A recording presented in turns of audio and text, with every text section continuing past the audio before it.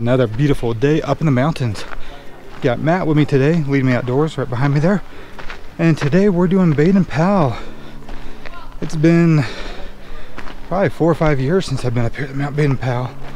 And it's about four mile hike up, 3,000 feet of elevation gain, 40 something switchbacks. Gonna be fun. Let's go.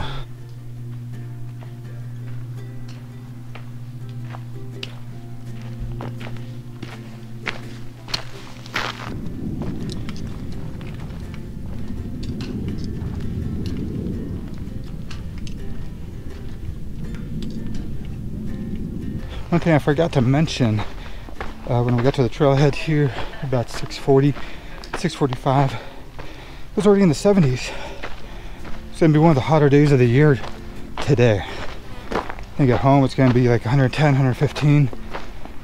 Up here we'll probably be in the 90s. Whew.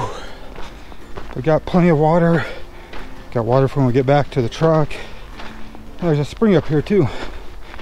I think I'll camel up there at least on the way back down and just enjoy that nice spring water.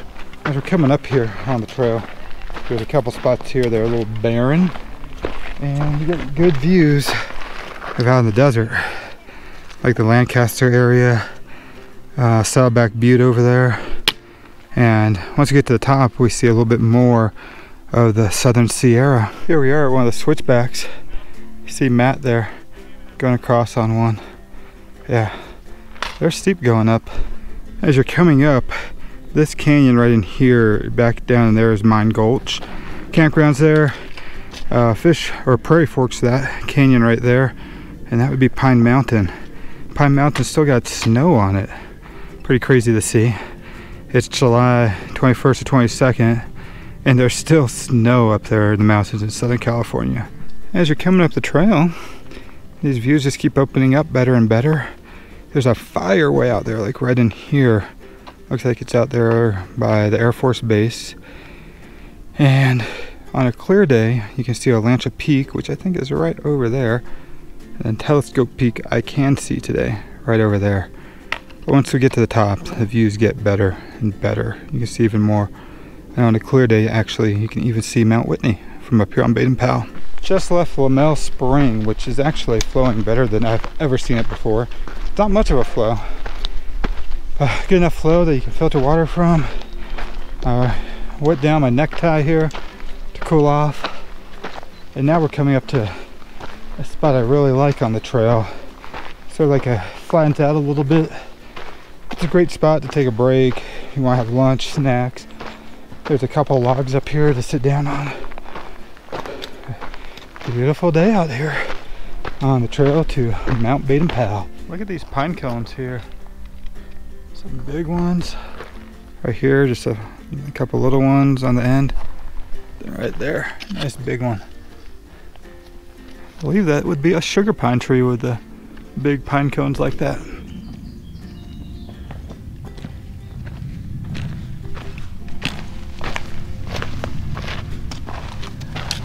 Making our way up the trail here, uh, in a spot where the switchbacks get much smaller. So we are getting closer to the summit. Uh, bugs are starting to get up. I just bugs are starting to come out. Just got bit by one. And then on the trail, Matt and I met up with Eric Coleman from Coleman Outdoors. Great guy. Um, he actually made this wood sign for me that he was going to bring to one of my meetups one time. And meetup didn't happen because of COVID. So he's asking about a meetup. I've been having a few other people ask me about a meetup. So maybe we can have one soon. But I'll put a picture of that uh, wood sign that he made. It was pretty good. I appreciate that. So thank you, Eric, for that. And thank you for the stickers today. And now we're gonna keep on going to the top. This is what I like to call like the mini switchbacks going up to Baden Powell. As you start climbing elevation very quickly. Um, yeah, the trail just goes back and forth, back and forth. Smaller switchbacks they're maybe 50 to 100 yards each going right up there. Right in here are some of the last switchbacks going up before you hit the ridge line. And you can see a few people hiking through. Uh, Mr. Hicks right there is a subscriber of mine. Cool to meet another subscriber here on trail. Quite a bit of trail runners out here on the trail today. I just stopped there, lit a few pass, and as I'm looking at my watch to look at the elevation, we just passed the 9,000 foot mark. and just passed the 2,500 foot of elevation gain. We're coming up here now, almost done with this, the main switchbacks. I'm gonna start up on the ridge line, past the Wally Waldron tree, and then we're there at the summit. Well, we made it, made to the ridge line to get up there to the top of Baden Powell. Look over this way. Whew. You got Mine Gulch down there. Mine Gulch camp is like right in there. Prairie Fork is right in there. Fish Fork over there. My buddy Robert, he's down there with some friends doing the East Fork through hike this weekend. Start over at Vincent Gap over here and go all the way through out to Heaton Flats. Okay, here we are on top of Baden Powell. Got subscriber there, James. Got Matt. They're right there next to the flag. Beautiful day out here. It's about 80 degrees, maybe a little bit hotter now. Let me flip the camera around and show you these views. So we're gonna go across the way here. Uh, right over there, Sugarloaf. You got San Gorgonio Wilderness with San G popping up. Right over here is Pine and Dawson. You've got Mount Baldy, West Baldy, San Jacinto right through there.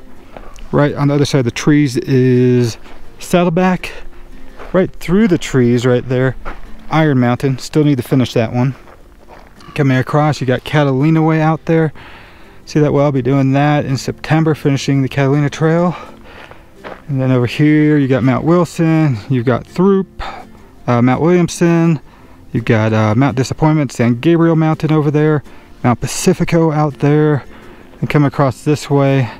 Um, hard to see just because of the haze, but uh, we were able to see earlier today Telescope Peak and Olancha Peak, which is pretty cool because those Telescope Peak is way out in Death Valley, and then the other one, um, Olancha, is sort of like at the foothills of the Sierra, at the beginning of the Sierra.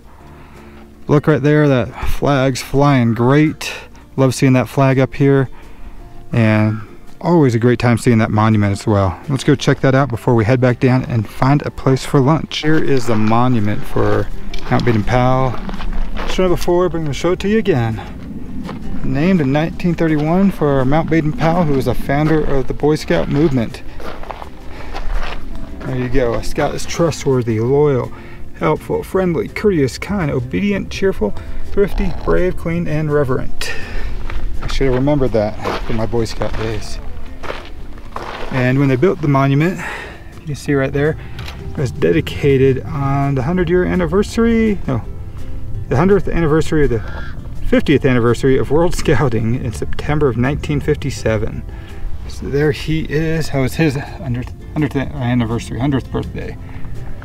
That would be a Lord Baden Powell. And just take a look at this thing. It's pretty big. Good size. Here we go. This is the Wally Waldron tree. Let's just come up a little bit closer to it. Here, um, old tree. I believe it is the oldest tree in the forest. Look at these roots and just how they're going out. Amazing. And still life up on top. Look at that. Um, it was named after Wally Waldron.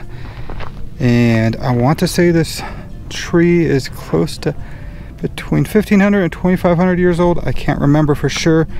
I'll put it up in the video for you though and tell you the exact age of the tree. Coming back down from the top, we're gonna check out Lamel Spring and then top off a liter each to get back to the vehicle.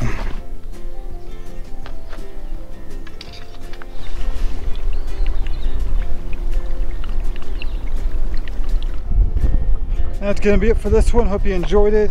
If you get a chance, check out Matt's channel, Lead Me Outdoors. Until next one, thanks for having me.